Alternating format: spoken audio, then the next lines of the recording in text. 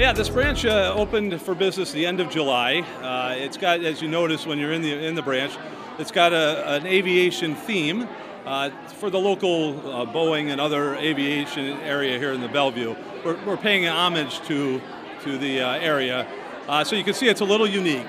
And Sterling does that. Our branches are all decorated in a different fashion. So if you go to any branch, whether it's San Francisco or Los Angeles or our New York branches, they're all going to look a little bit different. Every one of our branches you see when you come in, there's no plexiglass, there's no teller lines. Uh, we pride ourselves on very personalized uh, individual banking. Uh, we have a very uh, unique product for, for Asian community, uh, any community really, but it's, it's the Sterling Advantage Loan Program.